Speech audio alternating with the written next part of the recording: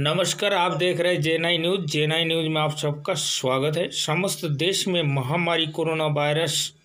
21 दिन की लॉकडाउन के दौरान लखनऊ में आम नागरिक व मुसाफिरों को खाने पीने का कोई कमी ना आए, उसी को देखते हुए I A R charitable foundation द्वारा खाने पीने का पूरा इंतज़ाम किया गया।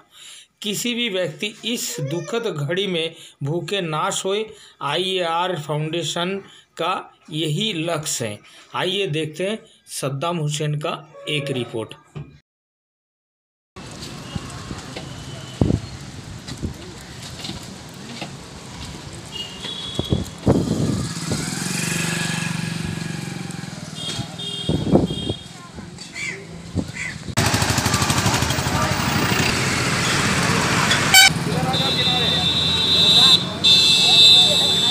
भागो नहीं धीरे से बड़ा आदमी ले आके।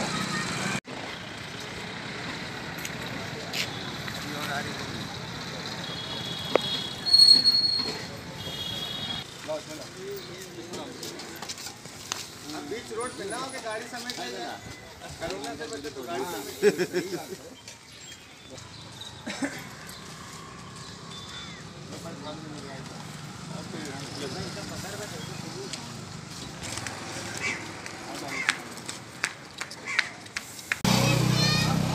हिंद मैं Saddam Hussain J N I इस वक्त मैं मौजूद हूँ, इमाम अली रजा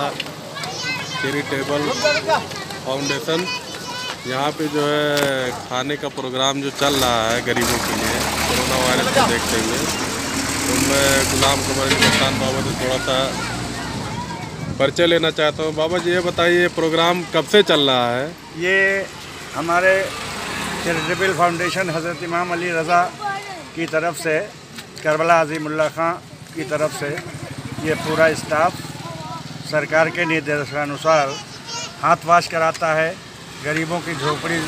में, झुग्गी झोपड़ी में खाना खिलाता है, जा जाकर खाना बांटता है और हमारे स्टाफ के कुछ लोग हैं जो आपको डिटेल बताएँगे।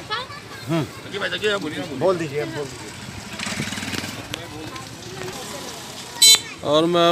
आमिर भाई से बात करना चाहता हूँ। आमिर भाई, ये बताइए कि ये किस विषय में जो है खाने का प्रोग्राम चल रहा है?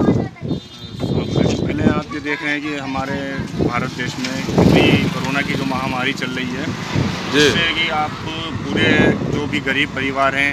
लॉकडाउन होने की वजह से किसी का काम धंधा नहीं चल रहा है जो बहुत गरीब परिवार के हैं जैसे ऑटो रिक्शा वाले हैं दिहाड़ी मजदूर टाइप के जो लोग हैं